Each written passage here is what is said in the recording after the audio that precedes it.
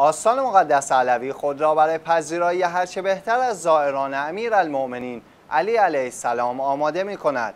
در آستان عید قدیر هزاران متر پارچه نوشته و بنرهای ویژه این عید سعید توسط آستان مقدس علوی تدارک دیده شده که در محلهای خود در حال نصب هستند.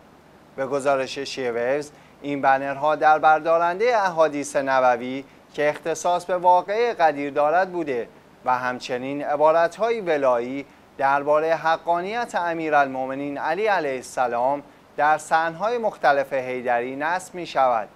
همچنین این آستان مقدس با همکاری شهرداری و اداره آب و فاضلاب شهر مقدس نجف این شهر و اطراف حرم را برای پذیرایی از زائران حضرت امیر المومنین علی علیه السلام در عید قدیر آماده نموده است.